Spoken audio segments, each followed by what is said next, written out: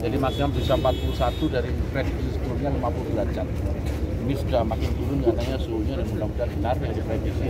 Kalau 41 derajat meskipun panas masih ramah lah dengan kondisi kita dan saya minta pada jamaah terutama yang lansia untuk tidak memaksakan memaksakan ibadah-ibadah sunnah fokus saja kepada uh, ibadah wajib nanti yang di Arafah di nanti di Musdalifah fokus di situ dan mempersiapkan uh, diri dengan baik.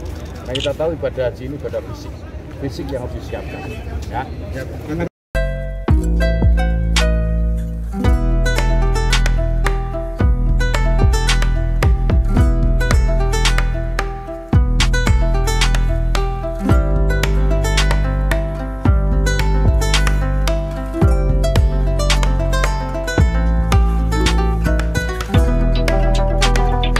Terima kasih sudah nonton.